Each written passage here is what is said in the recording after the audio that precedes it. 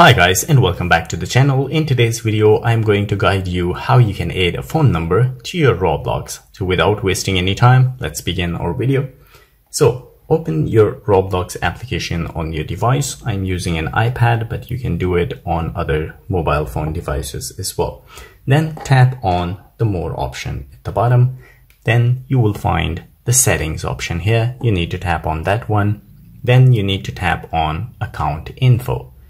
So once you tap on that, here you will find phone number. So you need to tap on add a phone number. The first thing you need to choose is the country code and then you need to enter your phone number. So I will enter the phone number first. So guys, once you enter your phone number, the next thing you need to do is to tap on continue.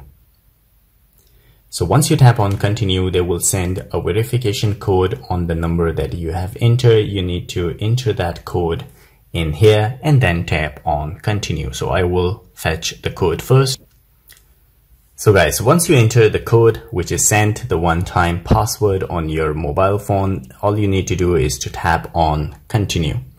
So once you tap on continue, they say your phone number is verified and then they say let's uh, friends find you Uh, if you want that other people can find you using your phone number, you can tap on yes. If you don't want that, tap on no and then tap on done. And that is it. Your phone number has been added. As you can see, I verified my phone number and already added to my Roblox account. So guys, this is how you can add a phone number to your Roblox account. If you like the video, don't forget to subscribe. I will see you in the next video. Till then, take care.